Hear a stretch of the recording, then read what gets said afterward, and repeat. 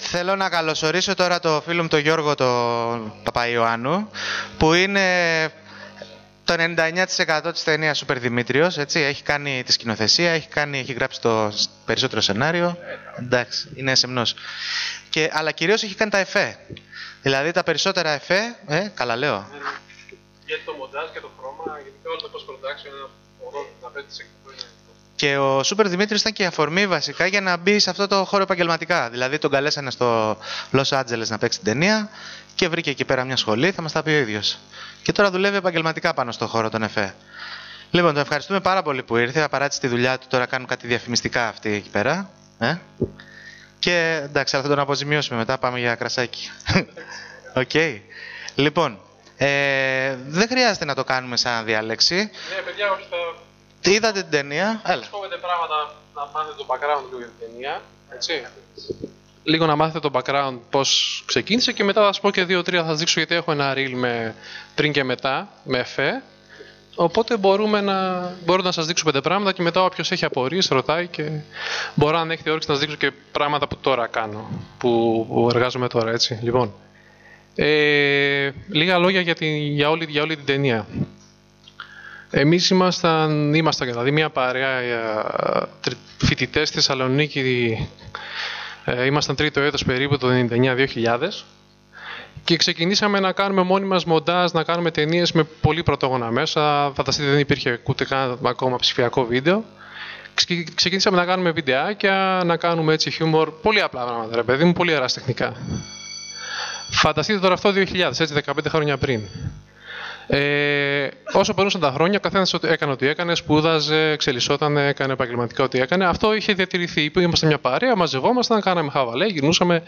Βγήκε το YouTube μετά, άρχισαμε να τα ανεβάζουμε στο δίκτυο να υπάρχει μια ανταπόκριση από κάποιους, να πηγαίνουμε σε κάποια φεστιβάλ, κάναμε κάποιες προβολές στο Πολυτεχνείο.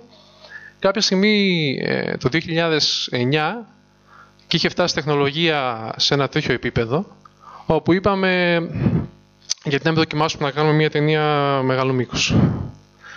Φανταστείτε για όσου ασχολούνται, ακόμα δεν είχε καν σκάσει πολύ το κίνημα με τι DSLR, δηλαδή με τις φωτογραφικές που τραβάνε βίντεο, που πλέον μπορείς δηλαδή με μια απλή φωτογραφική να έχεις ένα κινηματογραφικό αποτέλεσμα, δεν χρειάζεται να νοικιάσεις μια πολύ καλή κάμερα. Με ό,τι είχαμε, αποφασίσαμε να κάνουμε μία ταινία. Εγώ, ως ε, φοιτητής του Πολυτεχνείου, είχα πολύ καλή σχέση με τους υπολογιστές. Ε, είχα αναλάβει και το μεγάλο κομμάτι να ήταν και το χώρο δηλαδή να μοντάρω, να δοκιμάζω να κάνω εφέ, να πειραματίζουμε, να κάνω εφέ. Έτσι έπεσε η, η ιδέα να κάνουμε το Super Δημήτριο, δηλαδή να κάνουμε τον ε, προστάτη της Θεσσαλονίκης υπερήρωα, να μιξάρουμε δηλαδή όλα τα ντόπια χαρακτηριστικά της Θεσσαλονίκης ε, και όλα, όλα τα κλισέ της περιρροϊκής ταινίας και να κάνουμε μια ωραία κομμωδία όχι με καμία πρόθεση ούτε για εμπορική εκμετάλλευση ούτε για να, κάνουμε, να, να γίνουμε επαγγελματίες, απλά γιατί θέλουμε να το δοκιμάσουμε, θέλουμε να δούμε αν μπορούμε να το κάνουμε. Πολύ επηρεασμένοι και από τη Modi Python, δεν ξέρω αν ασχολείστε, παιδί μου. Επηρεασμένοι πάρα πολύ γιατί όλοι οι λάτρες του Modi Python θέλαμε να κάνουμε κάτι απλά για να δοκιμάσουμε αν γίνεται. Ξεκινήσαμε πολύ δειλά το 2010 ε, να μοντάρουμε, να φτιάχνουμε, να κοινάμε την ταινία, να χτίζουμε σιγά σιγά το σενάριο. Φανταστείτε ακόμα και το σενάριο χτιζόταν όσο, όσο προχωρούσε η ταινία, έτσι.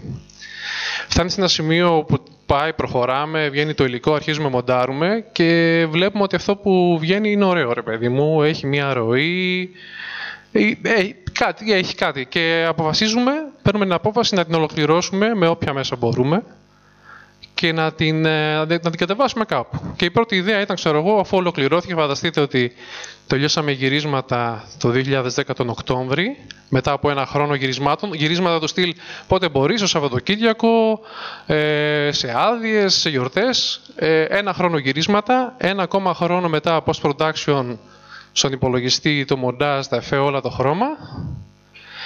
Και τελειώνουμε καλοκαίρι του 2011 και ερχόταν το φθινόπωρο το Φεστιβάλ Θεσσαλονίκης, του Φεστιβάλ της Θεσσαλονίκης, έτσι.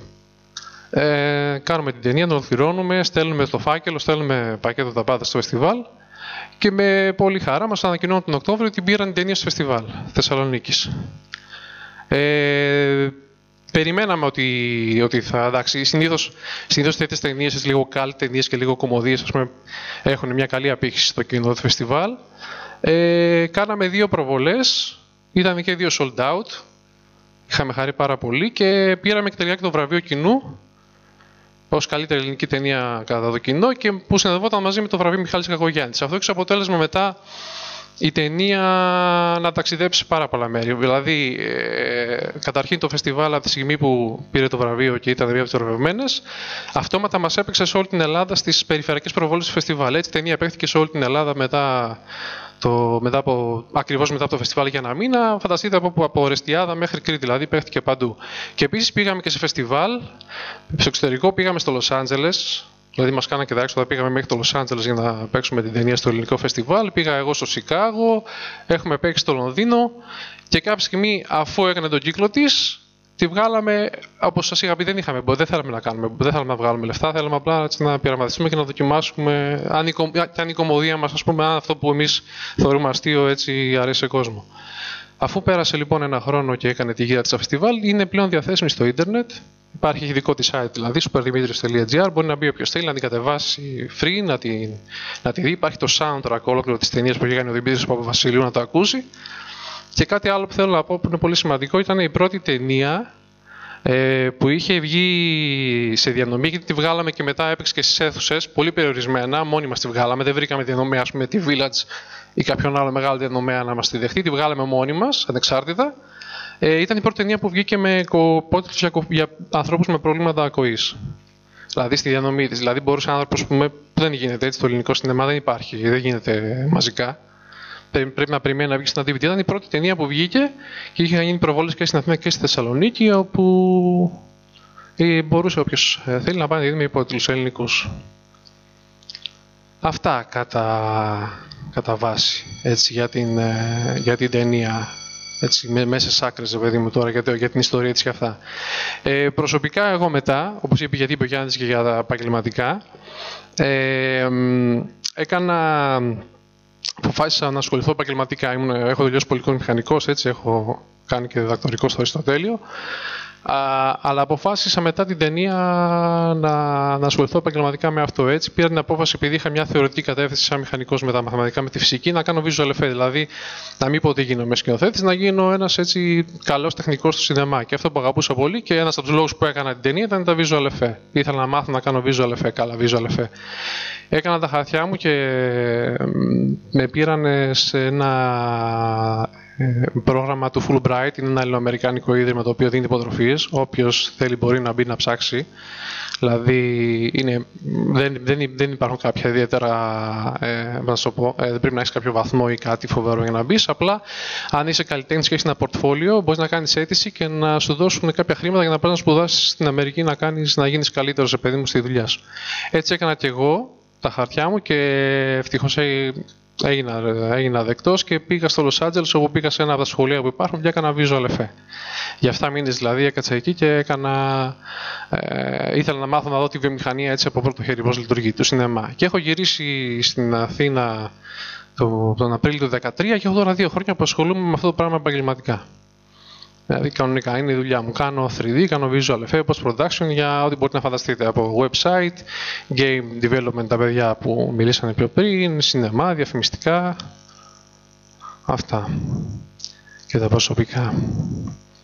Τώρα, θέλετε να σας δείξω, θέλετε να ρωτήσετε κάποια πράγματα, μήπως έτσι για το... Θέλετε να σας πω, έχω, έχω, ένα, έχω ένα reel όπου έχω λίγο τα πριν και τα μετά της ταινίας. Οπότε, άμα θέλετε να σας το δείξω πρώτα, αυτό είναι μικρό, είναι στα τρία λεπτά. Μπορώ να το πατήσω δηλαδή και freeze frame και να σας πω δύο-τρία πράγματα.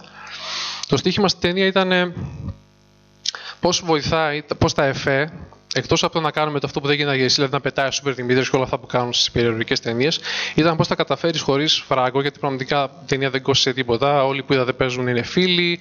Γυρίσαμε όπου μας δίναν δωρεά χώρο για να γυρίσουμε.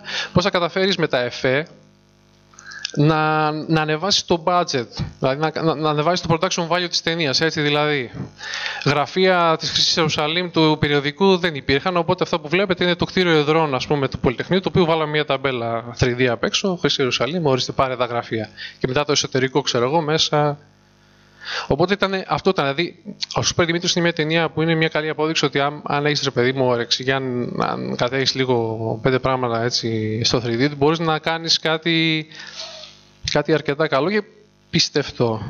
Εγώ. Λοιπόν, να σας δείξω λίγο κάποια πράγματα εδώ. Ανάτος, χαιρετάει. Λοιπόν, η σκηνή με το ελικόπτερο. Έτσι, ήταν μία από τις πρώτες σκηνές που, που ήταν μεγάλο στοίχημα για το πώς θα καταφέρουμε να κάνουμε δηλαδή, το ελικόπτερο να χτυπήσει, ξέρω, να έρθει να ρίξει αυτό που υποτίθεται μια μια που ρίχνουν, ξέρω εγώ έτσι, για να το μετατρέψει ο Captain Firm σε φραπέ. Οπότε τι γίνεται; Υποτίθεται ένα νυχτερινό πλάνο που έρχεται τώρα.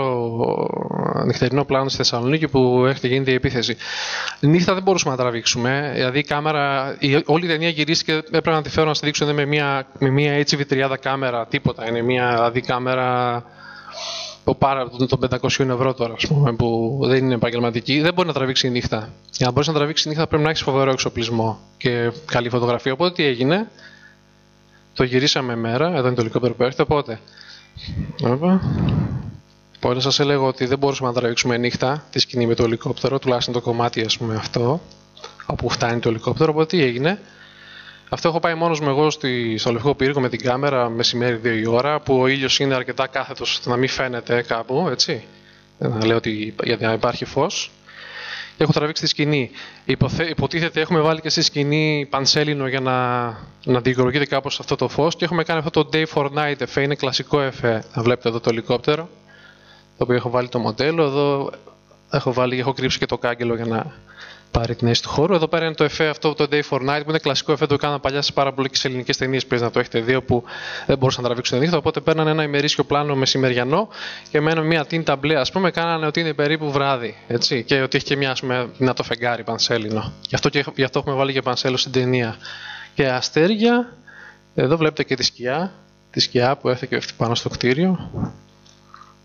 Λοιπόν, εδώ είναι η φοβερή οδηγή έτσι, τα τσιράκια του Captain Film, οι οποίοι δείτε εδώ το φοβερό στούντιο, είναι το σπίτι του φίλου του Αργύρη στη Θεσσαλονίκη, όπου έχουμε βάλει, έχουμε ανοίξει την πόρτα, έτσι, τη σειρώμενη και έχουμε βάλει ένα, απλά ένα μπλε πανί, τους έχουμε ντύσει, κρατάει ο, ο Σπύρος εκεί κρατάει ένα joystick δικό μου παλιό που είχα στο σπίτι και πολύ ωραία, τους έχω κόψει, τους έχω φέρει, θα, τους καθαρίζουμε, τους βάζουμε μέσα στο ελικόπτερο, βάζουμε και το χρωματάκι και είναι έτοιμοι και πιλωτάρουν.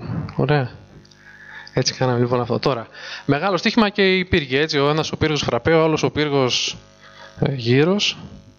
Που απορώ πως δεν το είχε σκεφτεί κανείς μέχρι τώρα να το κάνει. Μέχρι εμάς δηλαδή. Εδώ ορίστε. Το δελτίο. Λοιπόν, εδώ το πλάνο. Έτσι, αυτό είναι το, το πλάνο το κανονικό που τράβηξα, ας πούμε, με τα... Εδώ είναι το μοντέλο. Το μοντέλο τα έχει κάνει ο Λέκτρος Στογιάννης, ο, ο οποίος παίζει και τον Batman, ε, Δήμαρχο και το Θεό στην ταινία. Είναι το παιδί που έχει κάνει όλα τα 3D μοντέλα στην ταινία. Εδώ προσθέτουμε και τις νυφάδες και τους τίτλους και το χρώμα. Ορίστε. Ακόμα εδώ ένα ωραίο πλάνο. Βλέπετε εδώ πέρα πώς έρχεται, μπαίνει στη θέση του, γίνεται tracking, μπαίνει στη θέση του ο πύργος και μετά καλύπτεται και μασκάρεται και το πρόσωπο του παιδιού μπροστά που κάνει εδώ το μπομπαχτσί. Και εδώ το άλλο πλάνο με το γύρο. Τρέα, ναι. Βλέπετε πώς ήταν. Αυτό ήταν το πλάνο δηλαδή πώς ήταν. Μπήκε υποτίθεται εκεί το διαφημιστικό, ο γύρος, ο καπνός, τα γραφικά, ο τίτλος και το τελικό χρώμα της ταινίας και αυτό είναι το τελικό προϊόν που έπαιξε. Ωραία. Α, η σκηνή στην Τολέδα. Αυτή ήταν μια πάρα πολύ ωραία σκηνή. Δείτε εδώ που φεύγει. Δείτε πόσο απλά έγινε εδώ. Λοιπόν, εδώ είναι ο Δημήτρης, έτσι. Και του λέω: Θα, θα κάνεις, θα πηδήξεις, θα κάνεις την κίνηση και θα κρυφτείς μέσα στην τουαλέτα. Και, και ο άλλος, ο Δημήτρης, ο Δημήτρης που είναι δεξιά, είναι που έχει κάνει όλη τη μουσική της ταινίας. Ο Δημήτρης ο Βασιλείου, έτσι. Λοιπόν, του λέω: Θα φύγεις, θα κρυφτείς μέσα γιατί θέλω το πίσω, γιατί μετά θα κάνω τα δικά μου στον υπολογιστή και θα σε βγάλω. Οπότε τι γίνεται, κάνει, δείτε, πηδάει, Οπ. Κρύβεται. και παίρνω, οπότε να έχω εγώ το πίσω μετά, να έχω το πίσω μέρος του μπάνιου για να μπορέσω να καταλάβω να το βγάλω. Οπότε τον κάνω μετά πολύ πρόχειρα στο After Effects έτσι animation. Πουπ, ότι έφυγε. Και έχω πίσω και το να αντικαταστήσω το καθαρό πλάνο και μετά μπαίνουν τα πλαγάκια που χαλάνε, τα συντρίμια, το φως, το χρώμα της ταινίας και ορίστε. Φεύγει. Και μια φωτιά της πλάκας εδώ. Ωραία. Λοιπόν, εδώ κάποια matte paintings που είχαμε κάνει, εδώ που είναι με το μωρό που του έχει πέσει, ξέρεις, από τον ουρανό, έχει φτάσει ο Σούπερ Δημήτριος. Δείτε πώς ήταν το πλάνο. Αυτό, αυτό έχει γυρίσει στην Εύβοια, να φανταστείτε. Ένα καλοκαίρι στην Εύβοια που ήμασταν, τραβήξαμε τα πλάνα αυτά. Και εδώ είναι που έχει το κατεστραμμένο αρχηγείο. Α, α, να σας πω, αυτά τα πλάνα, βλέπετε που έχω το Bing, αυτά τα πλάνα καθώς και τους πακετάδες που κυνηγούνται που είναι από πάνω και τρέχουν είναι από το Bing. Το Bing ήταν το πρώτο που σου έδινε αυτό το bird's eye view το, το πλάνο. Οπότε κάποια στιγμή χαζεύοντας το είδα και σκέφτηκα ότι θα πάω, θα βρω τα μέρη που κάναμε γύρισμα και θα πάρω αυτές τις, τις φωτογραφίες και με αυτές θα, κατα, θα τις μετατρέψω σε, σε πλάνο. Οπότε, δείτε, πήρα εδώ και έκανα το κατεστραμμένο. Παρακάτω έχω και τη σκηνή με τους πακεδάδες, θα δείτε το ίδιο πράγμα. Α, εδώ είναι η σκηνή με το Θεό. Πώς ήταν το πλάνο. Ε, το παίζουμε με τα χρώματα. Και κάποια εφέ. Εδώ. Εδώ πέρα ήταν το, το πλάνο. Ορίστε. Πάλι από άλλη προοπτική είναι το ίδιο μέρος όπου Βλέπουμε τα ανθρωπάκια να φεύγουν. Εδώ είναι από το Bing. Το... Έχει μπει το ελικόπτερο, έχουν μπει όλοι οι χαρακτήρες. Και φεύγουν. Τι άλλο; Α, ναι. Και η τελική σκηνή ήταν πάρα πολύ ωραία. Ε, αυτό είναι ένα νεκροταφείο τρένων έξω από τη Θεσσαλονίκη, περίπου στα 15 χιλιόμετρα. Ε, φανταστείτε, είναι φοβερό. Είναι έτσι μια μεγάλη στοιχεία από παλιά καταστραμμένα τρένα. Οπότε τι κάναμε, να εδώ αυτό είναι το πλάνο, θα δείτε. Και εδώ έρχεται ο Σούπερ Δημήτριος, τσουπ. Και φεύγει. Λοιπόν.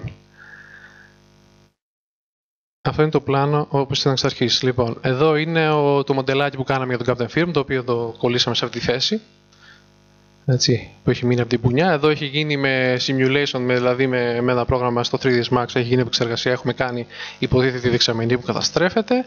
Τα βαγόνια τα οποία σιγά σιγά εκρίνεται και αυτά. Δηλαδή πρώτα γίνεται αυτό, σαν εφέ, πρώτα γίνεται δηλαδή ότι έχει να κάνει σχέση με, με γεωμετρία, με τρένα, καταστροφές και μετά έρχονται και κάθονται από πάνω τα υπόλοιπα που είναι οι φωτιές και οι καπνοί συμπληρωματικά. Και στο τέλος έρχεται και το, το 3D μοντέλο, το Super Dimitri με τη Μαρία, Οπ. Και φεύγουν. Και εδώ δύο πολύ ωραία παραδείγματα πώς μιξάραμε πραγματικούς, δηλαδή τους, τους πραγματικούς χαρακτήρες, αυτό που γίνεται κατά χώρο στο, έτσι, στο σινεμά, πώς μιξάραμε τους πραγματικούς με τα 3D μοντέλα. Εδώ έχουμε κάνει υποτίθεται την προσγείωση, έτσι. Αυτό έχει, έχει γίνει δηλαδή χώρια, έχει φτιαχτεί στο 3ds Max. Εδώ μας κάρετε και να υποτίθεται από πίσω και μετά βγαίνουν τα παιδιά από μέσα. Και έχω και νομίζω έχω και μια την ωραία την πουνιά του. Ναι, ναι, ναι, εδώ. Αυτή πάρα πολύ ωραίο. Εδώ, παπ.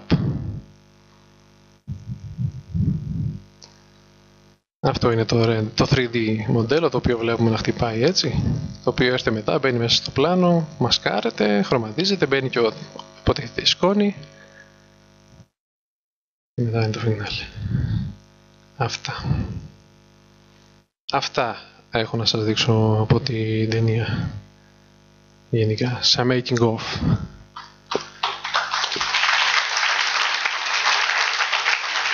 Τώρα, καλό, καλό θα είναι, δεν ξέρω αν θέλετε να ρωτήσετε γενικά, γενικά για τα visual effects, γεν, ό,τι, ό,τι θέλετε, για την ταινία, κάτι πώς έγινε, ό,τι θέλετε.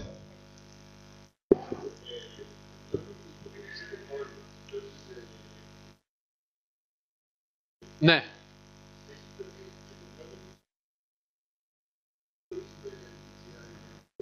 Όχι, δεν έχει τραβεί. Έχει, το έχουμε πάρει κατευθείαν από το Bing. Δεν υπήρχε drone. Η ταινία είναι του 2000. Βγήκε το 2011. Φαντάσου, είναι. Η ταινία είναι του 2011, τη γυρίσαμε το 10, δεν υπήρχε. Δεν υπήρχε καν, φαντάσου, το DSLR κίνημα με τις 5D και με τις 7D τότε. Δεν υπήρχε καν αυτό. Οπότε ούτε drone, όχι. Από το Bing. Από το Bing. Και το από πάνω που φεύγει το ελικόπτερο υποτίθεται και καταστρέφονται και αυτό. Από, ή από Google Maps ή από το Bing, από κάπου το είχαμε πάρει. Ναι ε, τα μοντελα έχουν κατασκευαστεί όλα με 3D Studio Max. Ναι, τα έχει κάνει ε, το μοντέλο του, τα μοντέλα, τα, τους πύργους και το χτυπητήρι το διαστημικό τα έχει κάνει στο Max ο Αλέξανδρος και ο Ανέστης είναι το παιδί που κάνει και το reporter μπροστά από τον πύργο που δίνει το ρεπορτάζ. Έχει κάνει τον το Super Δημήτριο όλους τους χαρακτήρες. Super Δημήτριο, κάτω εφήρο με τα τσιράκια, τους έκανε στο 3ds Max. Μιλάμε για πέντε χρόνια πριν, έτσι. Ε, με... Και τα effects με 3D Studio. Τα effects εννοείς ε, τα effects, δηλαδή βολιομετρικά φωτιές και τέτοια. Αυτά είναι όχι, είναι όλα 2D elements. Δεν, είναι, δεν, δεν έχει effects ταινία, είναι όλα 2D elements. Δεν έχει effects. Δηλαδή έχει 3D από το 3ds Max ρενταρισμένο με V-Ray.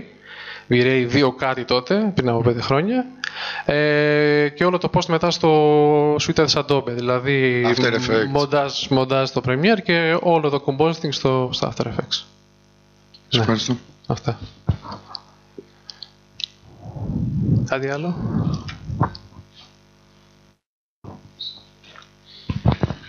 Λοιπόν, εγώ θεωρώ ότι είναι πολύ ωραία η δουλειά που έχετε κάνει πραγματικά.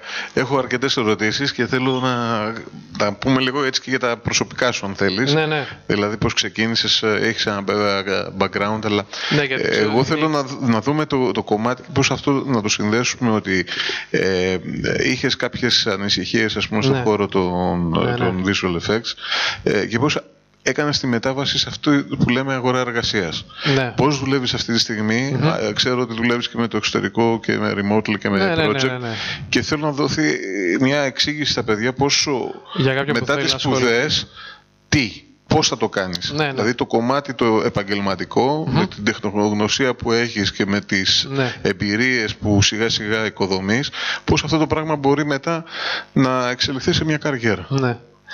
Ε, καταρχήν, ε, δεν νομίζω, καταρχήν και να πω πέντε πράγματα έτσι, πώς ξεκίνησα, πώς μπήκα δηλαδή, πώς αποφάσισα να μπω στον χώρο. Εγώ, σαν πολιτικός μηχανικός, ε, ασχολούμαι πάρα πολύ, δηλαδή στο Πολυτεχνείο, γεωμετρία, φυσική, μαθηματικά, είχα μια αγάπη έτσι, για αυτά τα πράγματα.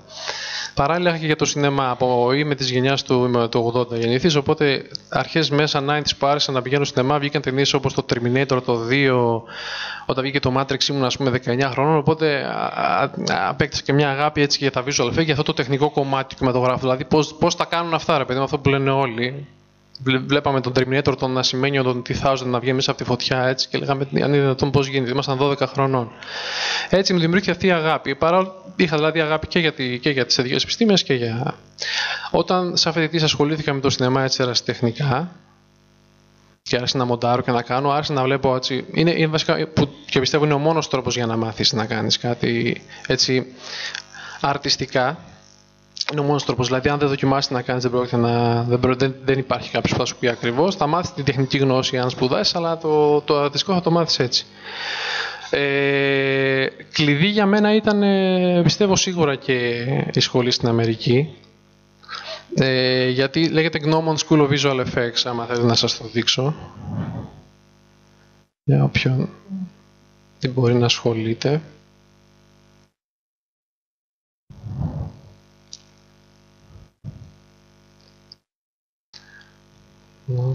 Λοιπόν.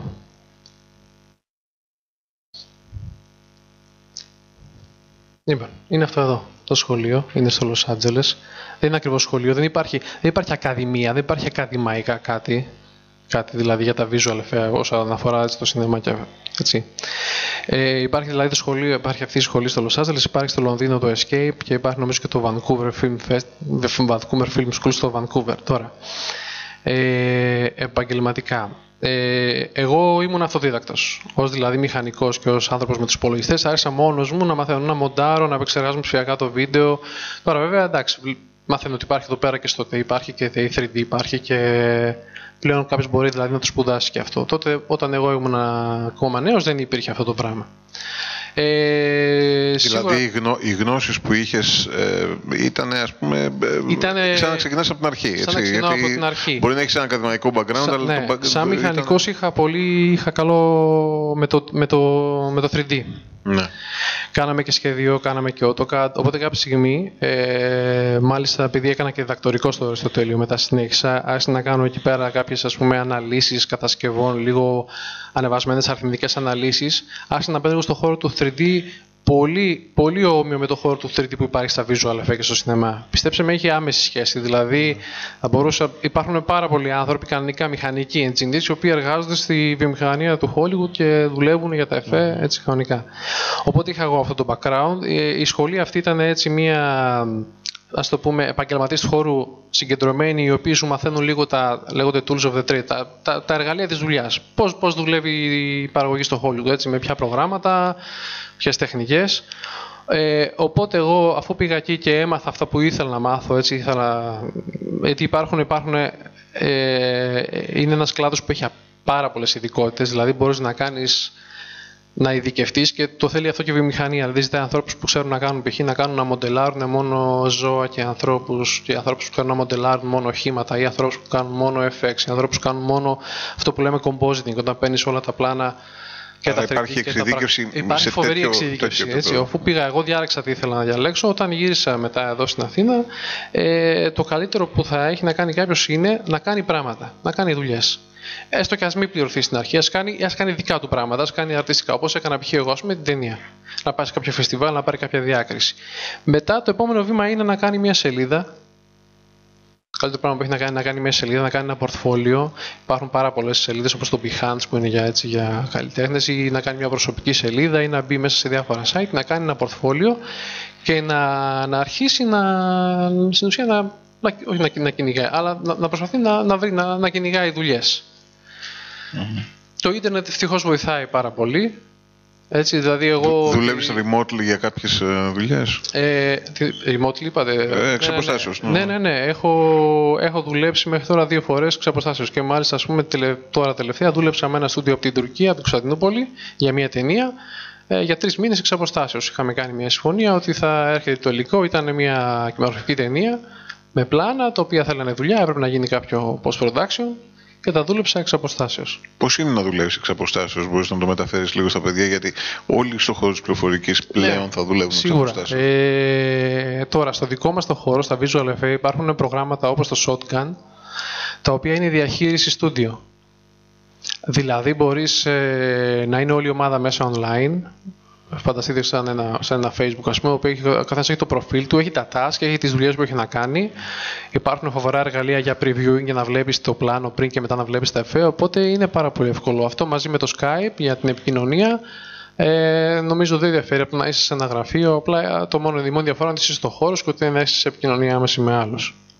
Πλέον είναι πολύ εύκολο. Οι ταχύτητες του ίντερνετ πλέον είναι αρκετά καλός ώστε να μπορείς να ανεβάζεις και να κατεβάζεις το υλικό που χρειάζεται γιατί είναι και ένας χώρος όπου το footage, ιδίως το κινηματογραφικό, είναι πάρα πολλά gigabyte. Έτσι είναι, δηλαδή δουλεύετε σε μια ποιότητα εικόνα ασυμπίεστη όπου είναι πολύ, πάρα πολύ ακριβό σε εισαγωγικά.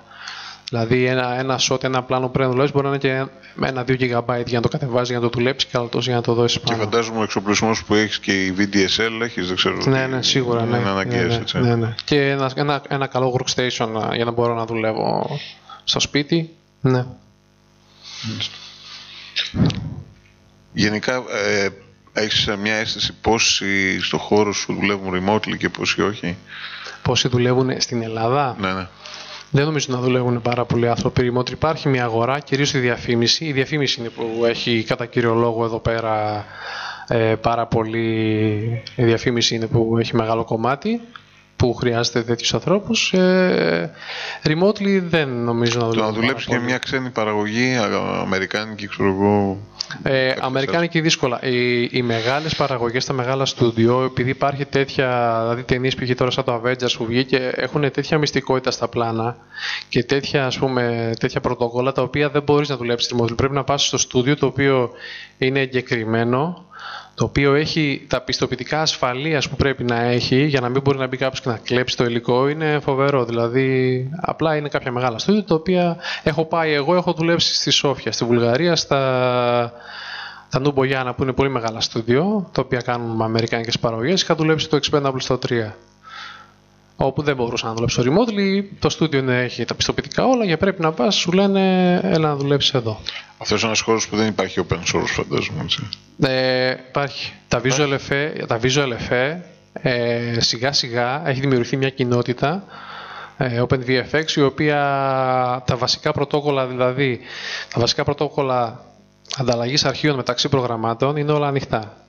Υπάρχει το OpenVDB που είναι για να ανταλλάσσεις ε, βολιομετρικά εφέ. Δηλαδή, αν κάνω εγώ μια έκρηξη σε ένα πρόγραμμα, να την πάρεις, να τη ρεντάρεις σε κάποιο άλλο πρόγραμμα. Υπάρχει το Alembic που είναι για αυτό open source, είναι ένα για να μετατρέπεις, να παίρνεις τα μοντέλα από το ένα πρόγραμμα στο άλλο. Υπάρχουν πάρα πολλά. Υπάρχουν, πάρα πολλά. Και ε, υπάρχουν και ολόκληρες σελίδες αφιερωμένες σε αυτό. Mm. Γενικά η κοινότητα είναι καλή. Δηλαδή, ένα εργαλείο που το χρειάζονται όλοι, εκτός από τα μεγάλα πακέτα που υπάρχουν για να κάνεις, υπάρχουν και πολλά. Εγώ προσωπικά χρησιμοποιώ πάρα πολλά open και free εργαλεία για καθημερινά μικρά πράγματα που μπορεί να χρειαστεί να κάνω. Και αυτή η αγορά, πόσο. Ε, τι ζήτηση υπάρχει αυτή τη στιγμή, προσφορά ζήτηση; Ε, αυτή τη στιγμή ε, παγκοσμίως είναι αναλόγως με τις παραγωγές. Ε, όταν εγώ ήμουν στην Αμερική είχε πέσει πάρα πολύ η ζήτηση γιατί τι γίνεται, έχει μεταφερθεί πάρα πολύ δουλειά στον Καναδά και στην Ινδία. Λόγω από τη μία στην Ινδία φθηνά, φθηνά εργατικά χέρια και στον Καναδά γιατί έχει φοβερές φοροαπαλλαγές κυβέρνηση όπου αν πας εκεί και κάνεις τη δινία σου post production σου δίνει πίσω σου επιστρέφει ένα μεγάλο ποσοστό του φόρου. Έτσι, αν θες να ταξιδέψεις, αν έχεις όρεξη να ταξιδέψεις, αν θες να μείνεις στην Αθήνα έτσι, ή να ζήσει να εργαστεί εδώ πέρα, ε, βρίσκει δουλειά αύριο, παιδιά. Όποιος θέλει στον Καναδά αύριο, άμα θέλει να ασχοληθεί, πάει στον Καναδά και δουλεύει στα μεγάλα στούντια. Αυτή τη στιγμή στον Καναδά γίνεται χαμός. Ζητάνε κόσμο συνεχώς. Πάρα πολύ. Και το Λονδίνο έχει αυτή τη στιγμή πάρα πολύ ζήτηση γιατί έχει το κέντρο Star Wars που βγαίνει, το οποίο είναι τώρα σε post production και υπάρχει φοβερή ζήτηση. Γενικά είναι διακειμενόμενο και λίγο μεταφέρεται η αγορά από χώρα σε χώρα. Που είναι λίγο αυτό, αν είσαι άνθρωπος που να κάνεις δηλαδή οικογένεια ή να μείνεις κάπου σταθερά, είναι λίγο δύσκολο.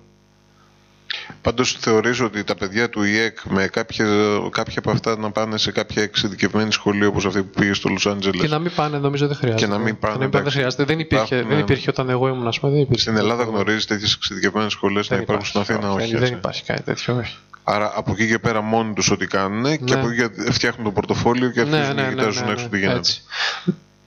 Δεν χρειάζεται, δεν χρειάζεται να κάνει και να μην πας σε κάποια σχολή.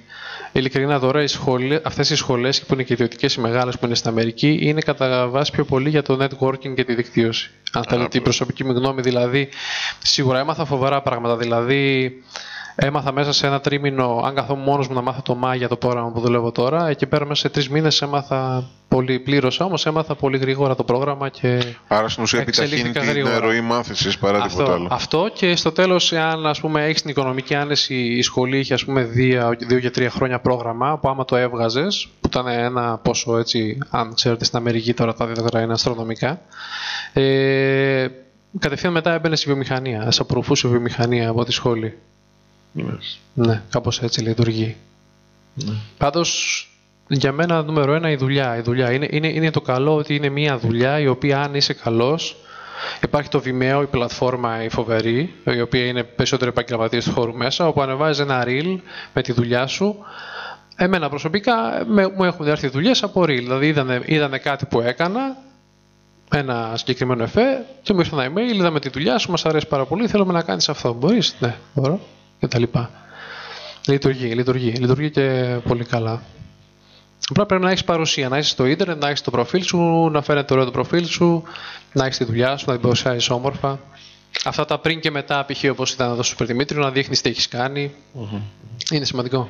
Στην Αθήνα υπάρχουν ή στην Ελλάδα γενικά υπάρχουν ε, μικρές εταιρείες που ναι, κάνουν ε, outsourcing τέτοιες δουλειές. Ε, outsourcing από το εξωτερικό ακόμα όχι, γιατί όπως σας είπα για τα πρωτόκολλα αυτά ασφαλείας που πρέπει να έχει ένα στούντιο να μπορεί να κάνει outsourcing, δεν υπάρχουν ακόμα. Υπάρχουν μικρά στούντιο τα οποία κάνουν, κάνουν 3D, ναι, ναι. Και για το χώρο που έχουμε εμείς τα video games, σαν ε, πλατφόρμα, το Unity, το Unreal κτλ. Το, τα video games είναι φοβερό το πώς έχουν εκτιναχθεί τα τελευταία χρόνια. Δηλαδή, ε, ο κόσμος που, που, εγώ γνώρισα στη σχολή όταν ήμουνα, ε, επειδή στην Αμερική η βιομηχανία του κινηματογράφου έπεσε πάρα πολύ η δουλειά, αφού σας είπα, φύγαν στον Καναδά και στην Ινδία, ο περισσότερος κόσμος ασχολείται με το game development. Δηλαδή, έχω άπειρου φίλους που μιλάμε τώρα, που ένας έχει δουλέψει στο Battlefield, στο καινούριο, ο άλλος έχει δουλέψει, ξέρω εγώ, στο πώς λένε, Destiny. Δηλαδή, ε, έχει απορροφήσει Μάλιστα, άκουσα ότι ξεπέρασε σε τζίρο και την ε, κινηματογραφική βιομηχανία. Ναι, ναι. Το, η βιομηχανία του video games είναι μεγαλύτερη πλέον από το Hollywood. Ναι. Ε, Όποιος θέλει να ασχοληθεί, παιδιά, νομίζω είναι η καλύτερη εποχή για το game development αυτόν τον καιρό και έχει και στην Ευρώπη πολύ ωραία μεγάλα στούντιο που κάνουν από in-game γραφικά μέχρι cinematics, φοβερά cinematics, ας πούμε η Digic Pictures που ξέρω στην Ουγγαρία, ε, και δύο-τρεις μεγάλες εταιρείες στη Σουηδία που κάνουν cinematics για, για, για βίντεο παιχνίδια. Και τα video games έχουν την ίδια λογική με τα visual effect, δηλαδή μόνοι τους ναι. κάποιος πρέπει να ασχοληθεί. Ναι, ναι, ναι. Δεν ναι, υπάρχει ναι. κάτι από εκεί και πέρα εξειδικευμένο. Ναι, ναι. Δηλαδή Τελε, τελευταία, πρέπει τελευταία... να, βρω, να βρωμίσει τα χέρια σου που λέμε. Έτσι. Τελευταία είδα κιόλας το, το Houdini, ένα από τα προγράμματα που δουλεύω για, για FX, έβγαλε και ειδικό asset για το Unity για να μπορείς να κάνεις δηλαδή ό,τι FX που γίνεται στο σινεμά. Έτσι. Το, το Houdini είναι ένα πολύ ωραίο πρόγραμμα για να κάνεις FX εκρήξεις, ε, βολιομετρικά, νερά, simulation γενικά πράγματα. Έχει βγει ειδικό το, το engine το οποίο είναι για το Unity κατευθείαν. Ε, ό,τι κάνεις ε, γίνεται σαν asset στο Unity για να μπορεί να μπει in game και να το χρησιμοποιήσεις. Unity ή Unreal. Δεν έχω ασχοληθεί, δεν είμαι κατάλληλος για να.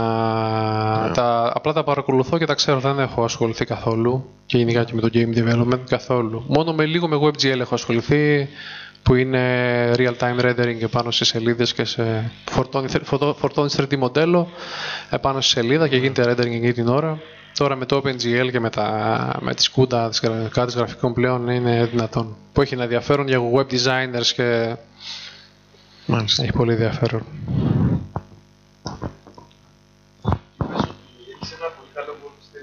Ναι.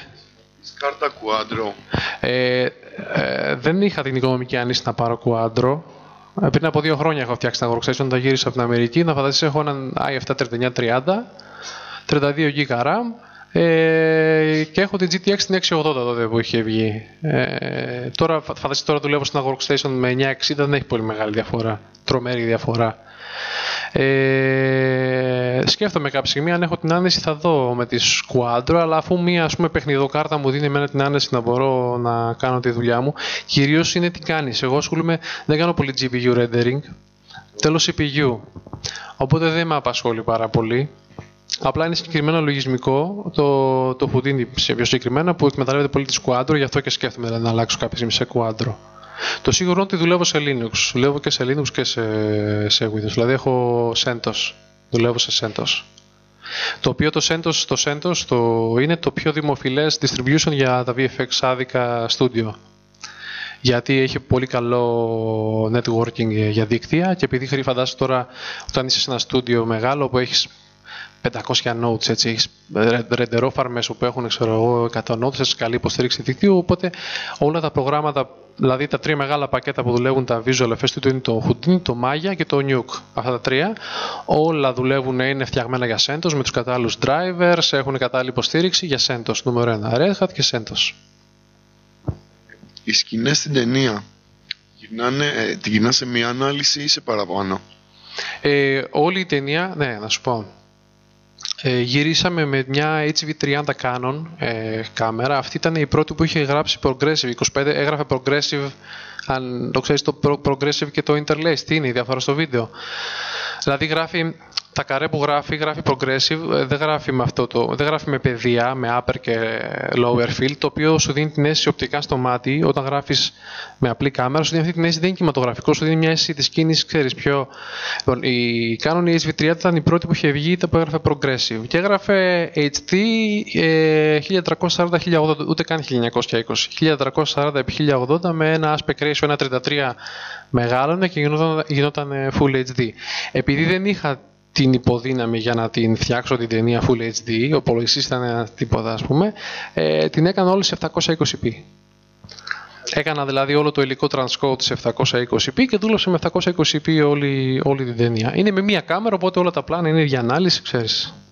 Εάν θες να φτιάξεις παραπάνω, mm-hmm. μπορείς να, θα χρειαστεί να ξαναγυρίσεις την ταινία ή να γυρίσεις δύο φορές το πλάνο ή απλά κάνεις encode και βγάζεις μια ανάλυση ultra high definition 4K. Για να καταλάβω αν θες, ε, εννοείς αν θες, αν έχεις κάτι, αν έχεις, αν έχεις κάνει, αν έχεις γυρίσει ήδη κάτι, πώς θα καταφέρεις να το κάνεις upscale σε κάτι πιο high definition; Υπάρχει λογισμικό.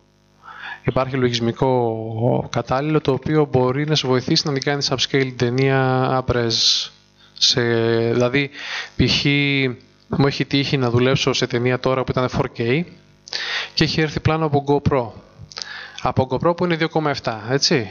Οπότε το 2,7 αναγκαστικά το κάνεις απρές σε 4K με λογισμικό και λίγο sharpening, λίγο ξέρεις, προσπαθείς και λίγο με το color grading να το φέρεις και να το κάνεις να, να έρθει να ματσάρει με την ποιότητα του quality του άλλου. Οπότε στην ουσία όταν κάνεις κάτι ε, πρέπει να, κάνεις, να χρησιμοποιήσεις encoding για να κάνεις την ταινία σε διάφορες αναλύσεις, DVD, ναι. Blu-ray και... Ναι. Το, το, αυτό που γίνεται συνήθως τώρα πλέον, επειδή φαντάσου μπορείς να νοικιάσεις και μία, μία Red, μία με 5K, έτσι, μία Scarlett, ας πούμε, τη νοικιάζεις με λίγα χρήματα, μπορείς να γράψεις μέχρι και σε 5K. Το καλύτερο είναι να γράψεις με καλύτερη δυνατή ανάλυση που μπορείς, ώστε μετά να κάνεις downscale μετά που σου θα σου δώσει και πολύ ωραία ευκρίνεια. Οτιδήποτε. Ποια ήταν η πρώτη, η πρώτη ταινία που βγήκε σε 4K, νομίζω είναι το The Girl with the Dragon Tattoo του Fincher, έτσι, που κυκλοφόρησε σε 4K. Η Αμερικάνικη παραγωγή, ναι. Ε, φαντάσου αυτή ότι την κάνανε downgrade, downgrade σε 2K που είναι το, το στάνταρ ακόμα πλέον στο σινεμά. Ήταν καταπληκτικό το, το sharpness και το definition ήταν καταπληκτικό. Πάντως αυτή, αυτή είναι η λογική. Γυρνάμε στη μεγαλύτερη δυνατή. Εδώ, εδώ πλέον υπάρχει και λογική. Γυρνάμε, στην, ε, γυρνάμε 5K για να μπορούμε να κάνουμε reframe την ταινία. Δηλαδή τραβάμε το κάδρο σε 5K, ώστε μετά εγώ να πω Α, μου αρέσει αυτό το κομματάκι εδώ πέρα. Το, το τραβάω, δεν θέλω να πάρω όλο το πλάνο και έχω σε πάρα πολύ definition καλό το. Καταλαβες. Reframing, για να μπορώ να φέρω λίγο πιο πάνω το, το ηθοποιού στα κεφάλια. Μπορεί να μην μου άρεσε και να θέλω να το μεταφέρω. Οπότε γίνεται και αυτό τώρα πλέον, που σου δίνει τη δυνατότητα η τεχνολογία.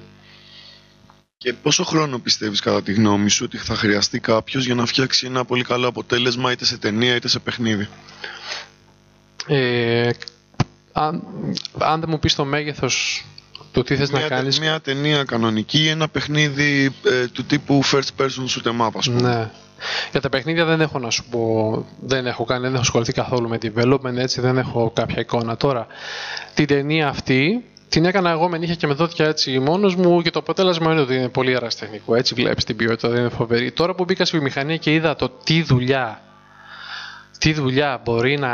Δηλαδή δεν φαντάζεσαι για, για παραγωγή τους στυλ, για τους Avengers που έλεγα και πριν που βγήκαν τώρα, δεν φαντάζεσαι πόση δουλειά θέλει για ένα shot που εσύ μπορεί να σου πέρασε, ξέρω εγώ, 3 δευτερόλεπτα, 3 δευτερόλεπτα 70 καρέ, μπορεί να είναι και 2 μήνες δουλειά από πίσω. Είναι αναλόγως τι θες να κάνεις και πού θες να φτάσεις. Μπορείς να τελειώσεις και την ταινία σε ένα μήνα είναι, είναι, είναι, σου λέω, είναι, δεν μπορώ να σου δώσω ένα έτσι estimate. Πρέπει να ξέρω. Δηλαδή, αν μου πεις ότι Γιώργο, έχω να κάνω αυτή την ταινία, ωραία, πόσες κοινέ visual effects έχεις μέσα, Έχω 20. Ωραία, τι, τι γίνεται, Θέλω να κάνω ένα δεσμόπλιο να κατεβαίνει στο Σύνταγμα. Θα σου πω ότι αυτό ε, θα μπορώ να σου υπολογίσω ότι ναι, να το μοντελάρει κάποιος, να το φωτίσει, να το κάνει composting μετά, να κάνει tracking. Είναι, πρέπει, να, πρέπει να μου πεις για να σου πω. Δεν υπάρχει κάποιο στάνταρ. Για μια ταινία 20 σκηνών όπως ανέφερες. Για μια ταινία; 20 σκηνών visual effect. 20 σκηνών visual effect. Εγώ θα έλεγα σίγουρα ένα χρόνο. Σίγουρα ένα χρόνο. Σίγουρα ένα χρόνο. Αλλά είναι σου λέω, μπορεί, είναι το, το, τόσο, το, τόσοι παράγοντες. Μπορεί να μου πεις εγώ ότι θέλω να έχω μέσα ένα σκύλο 3D που είναι το πιο δύσκολο πράγμα στα visual effect creatures. Να κάνεις να κάνεις, σκύλους, γατιά, σκυλιά, πουλιά. Είναι το πιο δύσκολο πράγμα. Δεν υπάρχει πιο δύσκολο πράγμα στα visual effects στην βιομηχανία από άποψη modeling και τέτοια. Αλλά αν πεις ένα μάξι, είναι ένα μάξι. Μπορεί να βρεις και ένα έτοιμο να το αγοράσεις από το ίντερνετ το μοντέλο και να το βάλεις στην ταινία σου. Και ένα πρόγραμμα τέλος μοντελοποίησης που θα μπορούσε να μας προτείνεις; Για modeling. 3D ε, modeling. Τι θες να κάνεις. Εγώ προσωπικά δουλεύω με το Maya. Αυτό έμαθα εκεί στην Αμερική. Είναι το αν θες να ασχοληθείς στη βιομηχανία, κάποια στιγμή σκέφτεσαι σοβαρά να ασχοληθείς και να γίνεις modeler π.χ. και να δουλέψει η βιομηχανία του σινεμά, το Maya είναι το καλύτερο. Καλύτερο. Δεν υπάρχει, δεν, ξέρω, δεν, δεν νομίζω ότι υπάρχει καλύτερο. Είναι το ότι πώς κάθεται στο μυαλό του καθενός. Να φανταστείς ότι εγώ ήμουν στην γνώμη και μάθαινα το Μάγια Κάποια στιγμή είδα ένα παιδί να παίζει με το Houdini. Που δεν έχει πάρα πολύ modeling, είναι πιο πολύ για effects, αλλά με το που το είδα και είδα τι κάνει, λέω αυτό είναι για μένα. Δηλαδή μου ταιριάζει, μου ταιριάζει η λογική του πώς λειτουργεί και αυτά. Ε, εγώ θα σου έλεγα να δοκιμάσεις. Tutorial free, εντάξει, πανικός παντού, έτσι, κατεβάζεις τα πάντα. Εγώ θα σου έλεγα να δοκιμάσεις. Ε, αλλά αν θες να μάθεις το εργαλείο, το στάνταρ που ξέρεις ότι π.χ. θα βρεις και δουλειά, ας πούμε, γιατί τα πιο πολλά στούντιο δουλεύουν με αυτό, είναι το Maya υπάρχει το Maya γιατί έχει φοβερά, φοβερά εργαλεία για character animation και modeling. Για character. Το 3ds Max είναι ένα πρόγραμμα που είναι πιο πολύ στο ArcV, στο αρχιτεκτονικό, στο hard surface modeling που λέμε. Κατάλαβες κτίρια, αυτοκίνητα εκεί. Το Maya έχει φοβερά για, για character, άμα δεν ασχοληθείς με character. Ε, το Blender το γνωρίζεις; Ναι, βεβαίως. Ναι. Το Blender είναι, είναι, είναι, είναι, είναι επανάσταση. Είναι φοβερό. Ε, θέλω να ασχοληθώ με το render, με το cycle, σε αυτό το καινούριο θέλω να το δω λίγο. Γιατί εγώ πιο πολύ στο αυτό το κομμάτι μου αρέσει πάρα πολύ το rendering, ο φωτορεαλισμός. Ασχολούμαι πάρα πολύ με αυτό, όχι τόσο με το modeling. Οπότε είδα κάποια τελευταία θέση για το cycles και θέλω να το, να το δοκιμάσω. Ξέρω ότι έχει καταπληκτικά εργαλεία modeling από παιδιά που μοντελάρουν. Πάρα πολύ, πάρα πολύ ωραία. Και το Modo, δεν ξέρω αν το έχεις ακούσει, το Modo τελευταία ακούγεται πάρα πολύ. Ναι, ναι. Ένα παιδί εκεί θέλει να ρωτήσει. ναι. Τι συμφέρει περισσότερο μια εταιρεία; Άκουσα ότι το Need for Speed εταιρεία βγήκε χρησιμοποιώντα αυτοκίνητα ναι. ρέπλικες. Εννοείς ψεύτικα ρέπλικες πλαστικά που τα, τα, τα γυρίσαν κανονικά ή 3D. Ε, 3D. Δεν είμαι σίγουρος. Σίγουρα σε κάποια πλάνα θα έχει 3D για να κάνουν ξέρω, πολύ επικίνδυνα stunts ή καταστροφές ή δεν ξέρω τι. Θα μου γελάσω. Αλλά αυτό που ξέρω σίγουρα είναι ότι υπάρχει μια τάση ναι. ε, να αποφεύγουν τις φάρμες... Ε, ναι, το rendering, το κόστος δηλαδή, ναι, ναι. Γιατί είναι και αυτό... Έξοδο. Ναι, έχει πάρα πολύ κόστος. Χωρίς Ναι, ναι. Απλά τι γίνεται τώρα; Τώρα με, τα, με το GPU rendering, με τις καινούργιες κάρτες και με τους καινούριους renderer που έχουν βγει, όπως ο Octane, όπως ο Redshift, ένας καινούργιος που έχει βγει, μηδενίζεται και το κόστος πάρα πολύ. Μπορείς εσύ με, να πάρεις 5 Titan, έτσι, ε, GeForce να πάρεις 5 Titan και να κάνεις μια μικρή φάρμα σπίτι σου και να κάνεις κανονικά να παράγεις, να ρεντάρεις φοβερό αποτέλεσμα. Εγώ νομίζω είναι όλα θέμα γυρίσματος, τι μπορεί να γυριστεί και τι βολεύει την παραγωγή. Τώρα μπαίνουν 700 μέσα παράγοντες, έτσι. Αν θέλω να προσθέσω ένα αυτοκίνητο στην εταιρεία μου, είναι τρακάρι, α πούμε, ναι. και διάφορα. Ναι, ναι. Ε, για να επιτύχω ένα ρεαλιστικό αποτέλεσμα, πρέπει να θυσιάσω και ένα κανονικό αυτοκίνητο. Όχι καθόλου. Νομίζω ότι μπορείς να κάνεις τη δουλειά σου πολύ ωραία πλέον. Ε, μοντέλο, αν κάνεις γύρισμα, γυρίσεις κοντινά ή το γυρίσεις, το έχεις το αμάξι, δύσκολο θα είναι λίγο να το μοντελάρεις το ίδιο. Αν είναι εξ ολοκλήρου 3D για μια απλά εξωτερικά πλάνα, τα οποία δείχνεις απλά κάνεις με την ίδια και δείχνει ένα αμάξι να πέφτει, να, κάτι πολύ, πολύ εύκολο, μπορείς να πάρεις και ένα έτοιμο. Το στίχημα είναι το animation. Υπάρχει ένα, άμα θες να το σημειώσεις, υπάρχει ένα, το Craft Animations, Craft Animations που είναι μια πλατφόρμα η οποία έχει pre-rigged έτοιμα ριγκαρισμένα οχήματα. Αεροπλάνα, αμάξια, τα πάντα. Και έχει καταπληκτικό rig για αμάξια. Το χρησιμοποιεί όλη η βιομηχανία της Craft Animations. Τίποτα. Φρενάρεις και το βλέπεις εσύ που ξέρεις, που κάνει, που βλέπεις αναρτήσεις και αυτά όλα. Ναι, είναι καταπληκτικό. Το οποίο εσύ αν έχεις το μοντέλο, φορτώνεις το Craft Animations στο πρόγραμμα, το βάζεις στις ρόδες εκεί που είναι, το ριγκάρεις, το παίρνεις έτσι έτοιμο και μετά παίζεις με τα βελάκια σαν να παίζεις παιχνίδι, το οδηγάς. Μέσα στο 3D Max, μέσα στο Maya, όπου θες. Ναι, το οδηγάς κανονικά. Α, το ελικόπτερο της ταινίας. Είναι με το ελικόπτερο, το έχω κάνει με αυτό, animation.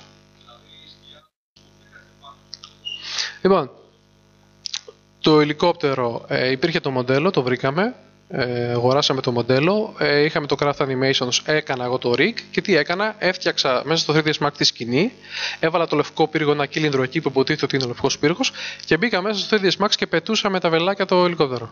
Το έκανα να πετάει και να πλησιάζει. Αυτό. Έτσι. Έτσι, έτσι. Και μετά φωτίστηκε, φωτίστηκε αντίστοιχα έτσι με αυτό το φως ε, το, έτσι φωτίστηκε το, το ελικόπτερο και τώρα για τις σκιές που λες, για να κάνεις τις σκιές τι πρέπει να κάνεις, πρέπει ε, βλέποντας το πλάνο και κάνοντας tracking την κάμερα και βλέποντας τι υπάρχει γύρω, θα πρέπει να φτιάξεις πρόχειρα με γεωμετρίες γύρω. Δηλαδή, στη συγκεκριμένη περίοδο που έρχεται το ελικόπτερο, εγώ έκανα το κτίριο πολύ πρόχειρα. Το φώτισα μέσα στο 3ds Max και πήρα μόνο τις σκιές που μου έβγαλε το 3ds Max, το, που μου έβγαλε το 3ds Max και τις πρόσθεσα πάνω στην εικόνα. Κατάλαβες, δηλαδή απλά αυτό, αυτό λέγεται layout στη βιομηχανία. Ότι παίρνω το πλάνο μου και κάνω απλή πρόχειρα γεωμετρίες πράγματα που υπάρχουν στο χώρο μέσα, έτσι ώστε όταν βάλω εγώ το μοντέλο και το φωτίσω, ό,τι φωτοσκίαση γίνει μπορώ να την πάρω από το πρόγραμμα και με αυτή να τη χρησιμοποιήσω και έτσι να δώσω ένα, τέλειο, να δώσω ένα ρεαλισμό.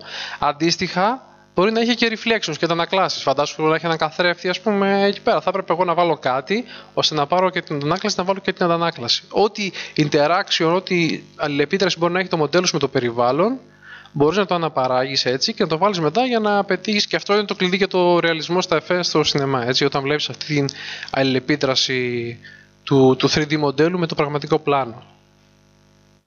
Αυτό. Ναι. Ε, καταρχήν υπάρχει, αν έχετε, αν έχετε ακούσει, υπάρχει η λεγόμενη διαδικασία 3D tracking, η οποία τι, τι σημαίνει, παίρνουμε το πλάνο, δηλαδή πήρα εγώ το πλάνο όπου υποτίθεται βλέπω το ελικόπτερο να έρχεται, έτσι. Κάνουμε 3D tracking, δηλαδή υπάρχει λογισμικό που καταλαβαίνει από την κίνηση της εικόνας, καταλαβαίνει την κίνηση της κάμερας, καταλαβαίνει εμένα που ήμουν εκεί και πώς κούνησα την κάμερά μου. Βοηθώντας το δίνοντας κάποια στοιχεία για το φακό, για την κίνηση, για όλα, το βρίσκει και έτσι εγώ μετά, εκτός από το πλάνο το πραγματικό, έχω μέσα στο 3D πρόγραμμα που δουλεύω, έχω την κάμερά μου με την ίδια ακριβώς κίνηση. Ακριβώς με την ίδια κίνηση. Κάνω όλη τη δουλειά, κάνω όλο το animation, φωτίζω, ρεντάρω, που σημαίνει ότι παράγω την τελική 3D εικόνα και μετά με το After Effects, συγκεκριμένη ταινία, έρχεται και παντρεύεται, δηλαδή έρχεται και κάθε το ελικόπτερο πάνω από την εικόνα, το πραγματικό πλάνο και φαίνεται σαν δεμένο γιατί ακολουθεί ακριβώς η κάμερα και η ψηφιακή κάμερα που έχω φτιάξει στον υπολογιστή, αλλά και η κάμερα που τράβηξε πραγματικά το πλάνο, ακριβώς την διακίνηση. Ακριβώς. Που το κλειδί είναι αυτό, να κάνεις πάρα πολύ καλό tracking και μετά να το φωτίσεις πάρα πολύ ωραία, δηλαδή να αναπαράγεις τις φωτιστικές τη φωτιστική κατάσταση, δηλαδή ο ήλιος ήταν εκεί να βάλεις και εσύ έναν ήλιο στο 3D να το φωτίσεις έτσι το ελικόπτερο και μετά όλη η δουλειά γίνεται να ταιριάξει χρωματικά στο φινάλι. Να ταιριάξουν τα λευκά, τα μαύρα, να το φέρεις ακριβώς και να φαίνεται ότι έχει δέσει. Το στάνταρ πρόγραμμα αυτή τη στιγμή στη βιομηχανία για αυτή τη δουλειά, για το πάντρεμα, για το compositing, είναι το Nuke. Είναι το νούμερο ένα που χρησιμοποιεί όλη η βιομηχανία και ξεκίνησε από το District 9, την ταινία, έκανε, έκανε πάταγο με το, σαν πακέτο με το District 9 και τώρα χρησιμοποιείται κατά κόρον σε όλες τις ταινίες. Είναι δηλαδή το πρόγραμμα που έχει πάρει. Αν θέλετε να μπείτε, γράψτε Nuke Compositing, θα το δείτε στο ίντερνετ, είναι το νούμερο 1 αυτή τη στιγμή. Αυτό.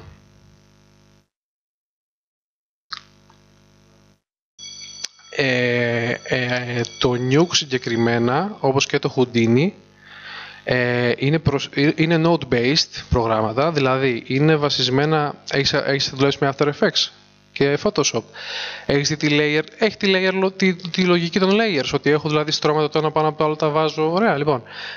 Αυτά τα ξεχνάς, στο Nuke δεν υπάρχουν layers, υπάρχει αυτό που λέμε node-based compositing. Δηλαδή, αν έχεις κάνει προγραμματισμό, φαντάζομαι άμα κάνεις έχεις κάνει προγραμματισμό, λογικά διαγράμματα ε, είχατε κάνει. Εγώ, με έκανα στα 12 μου basic GW Basic το 92 και κάναμε λογικά διαγράμματα κάναμε λογικά διαγράμματα για πριν κάνουμε τον κώδικα. Λοιπόν, φαντάσου αυτό το πράγμα interface, δηλαδή αντί, αυτό, αυτό όλο, είναι, όλο, όλο το πρόγραμμα είναι ένας κώδικας το οποίο έχει γίνει ένα GUI, το nuke, έτσι, το οποίο έχεις nodes και τα συνδέεις. Δηλαδή, πρώτο node πάνω το πλάνο.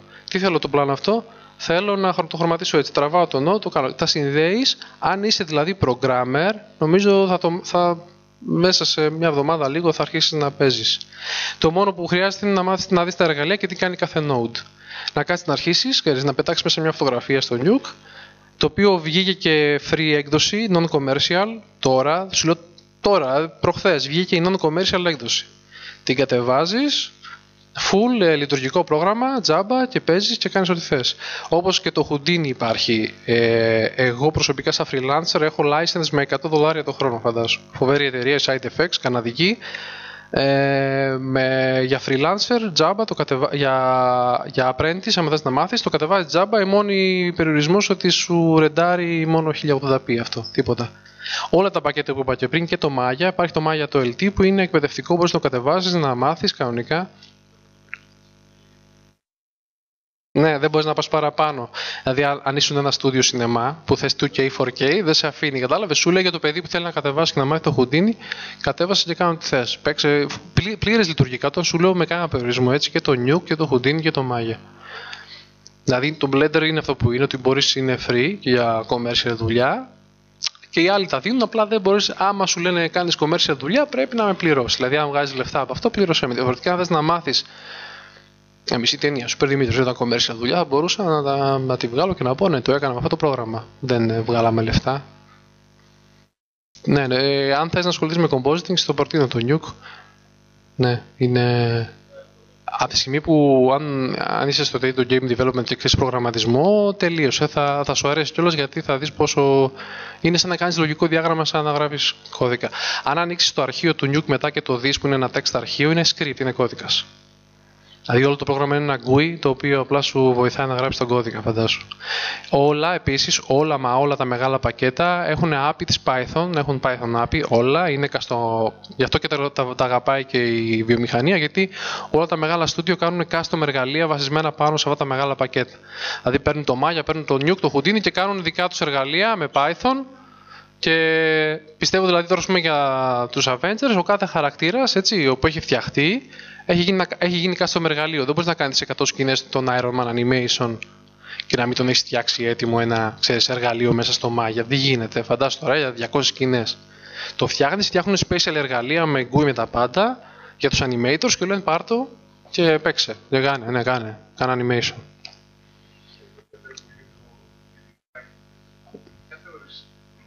η καλύτερη για, για να... το χώρο Python. Όλα, όλα τα προγράμματα έχουν API της Python. Θεωρείς δηλαδή ότι το πρόγραμμα σπουδών μας θα πρέπει να το επικαιροποιήσουμε με ε, Python? Σίγουρα, 100%. Είναι η νούμερο ένα γλώσσα για, για την επιμετρία. Αυτή είναι και η πρότασή μου δηλαδή στο Υπουργείο, αλλά ναι, ναι, τυχαίνει να το κάνω αυτό και Εγώ έκανα μόνος μου, εκεί διάβασα, έμαθα. Και είναι και αρκετά εύκολη, έτσι. Σε... Ναι, ναι, πολύ εύκολη. Ε, έπαθα πλάκα όταν είδα πόσο εύκολη είναι. Πήρα ένα πολύ ωραίο βιβλίο της O'Reilly, ένα... Άμα πρέπει να το θα σα το πω ένα πολύ καλό. Θα κρατήσουμε αφήνει να σα πω ένα φοβερό. Πώ διαβάζεις τέτοια πράγματα από την αρχή; Αυτό θέλω να πω στα παιδιά. Δηλαδή, θέλεις να μπεις να μάθεις κάτι καινούργιο, μια Python. Τι θα κάνει. Τελευταία βρήκα αυτό το site.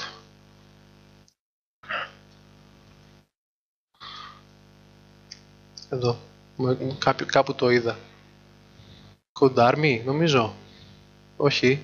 Κορσέρα και τέτοια MOOCs ε, κοιτάζεις; Δηλαδή, κά, κά, κάτι με code, κάτι τελευταία. Υπάρχει ένα site το οποίο έχει όλες τις γλώσσες και μπορείς να μάθεις... Mm-hmm. Ναι, υπάρχουν πολλά τέτοια Προ... site. Σίγουρα, σίγουρα. Mm-hmm. Code Academy. Ε, το Code, Code Academy. αυτό είναι τώρα πολύ, πολύ καινούριο, ναι. Mm-hmm. Ναι, ναι.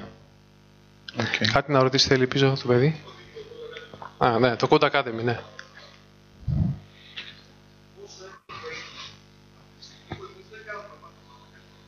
Mm-hmm.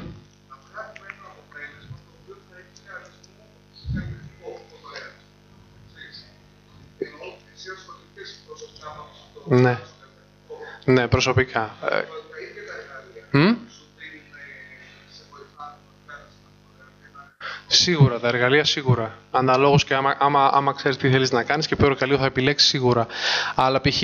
τώρα φωτορεαλισμό στο 3D, έτσι. Φωτορεαλισμό στο 3D. Ας πάρουμε αυτό. Δεν πρέπει να ξέρεις φωτογραφία. Δεν πρέπει να πάρεις μια μηχανή στα χέρια σου να βγάλεις φωτογραφίες. Πώς θα μάθεις φωτορεαλισμό, τι κάνεις τι κάνεις φωτορεαλισμό, παίρνει στο πρόγραμμα το π πρόγραμμα, βάζεις ένα φακό, φωτίζεις, βάζεις τα settings που βάζεις για να κάνεις αυτό το ρεαλιστικό αποτέλεσμα. Και μετά, εκτός από το όταν θα ρενταριστεί και θα βγει, πρέπει να το επεξεργαστείς και λίγο για να το κάνεις ακόμα πιο αληθινό. Δεν πρέπει να ξέρεις φωτογραφία, δεν πρέπει να ξέρεις πώς αντιδρά ο φακός στο φως, πώς λειτουργεί σε σχέση με το φακό. Ένα, ας πούμε, παράδειγμα. Πρέπει να πάρεις να μάθεις μόνος σου. Δεν στο μαθαίνει κανεί αυτό. Φωτογραφία, π.χ. για ένα κομμάτι. Ξέρω παιδιά που κάνουν animation τα οποία παρακολουθούν ώρες ζώα. Θέλει να κάνεις μια αρκούδα animation. Θα κάτσει να δει 500.000 βίντεο στο YouTube να δει πώς κουνιέται η αρκούδα. Να δει το. Στην γνώμη που ήμουν εγώ είχε μαθήματα ανθρωπολογία, ζωολογία. Κανονικά μαθήματα. Δηλαδή βλέπανε πώς κουνιέται το ανθρώπινο σώμα, πώς συμπεριφέρεται, τα ζώα. Τους φέρανε ζώα να βλέπουν, να δείτε τα ζώα, δείτε πώς προχωράει το σκυλί και μετά animation να δούμε πώς γίνεται. Αυτό νομίζω είναι κάτι που είναι το μάτι που λένε. Αν έχεις μάτι, αν έχεις δύσκολα να στο περάσει κάποιος, πρέπει. Έλεγε ο Κιούμπρικ, έλεγε: Θες να μάθεις να κάνεις ταινίες, κάνει μια ταινία.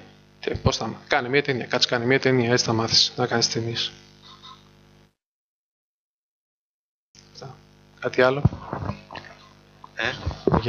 Ε, ε, νομίζω ότι κάπου εδώ πρέπει να ε, το κλείσουμε. Γιατί όπως καταλαβαίνεις εδώ τα παιδιά έχουν φτιαχτεί και δεν πρόκειται να σε αφήσουν. Α, άμα θέλετε να ρωτήσετε οτιδήποτε, αυτή είναι η σελίδα μου. Έχω βγάλει εγώ και εγώ ένα σαν το framework στο οποίο υποτίθεται είναι έτσι το προφίλ μου στο ίντερνετ. Εδώ, frameworks.gr Εντάξει, δεν φαίνεται.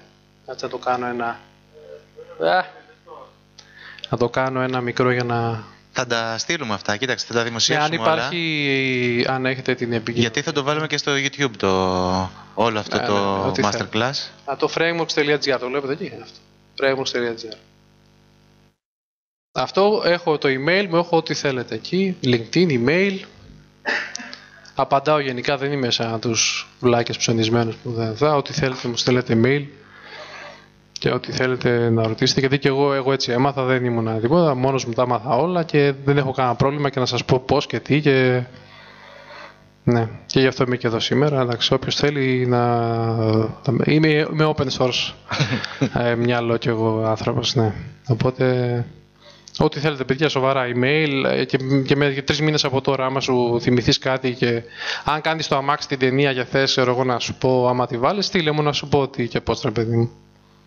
Τι να κάνεις. Αυτά. Τι, τι, τι. Ε, Μίκο, το καλύτερο που έχεις να κάνεις, να κάνεις μια ωραία μικρού μήκους. Να κάτι να κάνεις για τη δουλειά σου. Κάνεις μια ωραία μικρού μήκους, βάζεις και κάνεις ωραίο post μέσα, κάθεσαι, παιδεύεσαι εκεί. Κάτσε παιδέψου και μετά και μετά παντού φεστιβάλ, στείλε. Παντού streaming, streaming σε φεστιβάλ. Δεν ξέρεις, δεν ξέρεις μπορεί να φτάσεις ποτέ.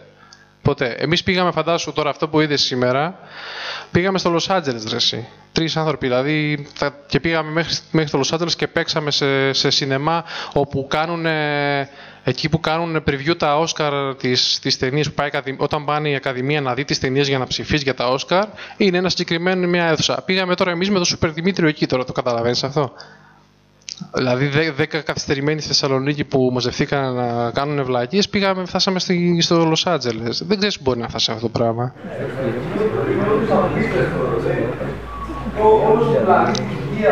Πλέον ναι. Ναι, ναι. Ε, στο Vimeo, ιδίως που είμαι εγώ, που έχω το προφίλ μου και αυτά, μιλάω καθημερινά και με ανθρώπους και, με, και Πώς έκανες αυτό και τι έγινε αυτό και δες αυτό. Μπράβο, ωραία δουλειά. Ε, είναι, είναι φοβερό. Είναι φοβερό. Εμένα μου ήρθε email φαντάζομαι από Αυστραλία, ας πούμε. Κάποιος μου είπε: Θέλω να κάνω αυτό.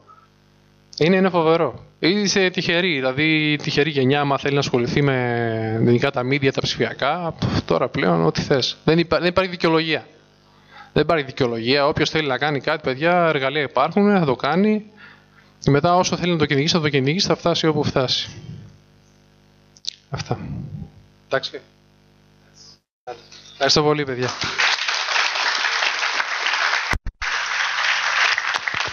Κύριε Παπαϊωάννου, σας ευχαριστούμε θερμά για την παρουσία σας εδώ, για την έμπνευση και τη, το, τόσα χρήσιμα πράγματα που μας είπατε και εύχομαι να αξιοποιηθούν όλα αυτά που είπατε από τους ενδιαφερόμενους. Ε, παιδιά, καλό βράδυ σε όλους. Σας ευχαριστούμε που ήσασταν εδώ. Καλή συνέχεια. Θα παραλάβετε τις βεβαιώσεις από ε, απέναντι. Έτσι. Καλό βράδυ.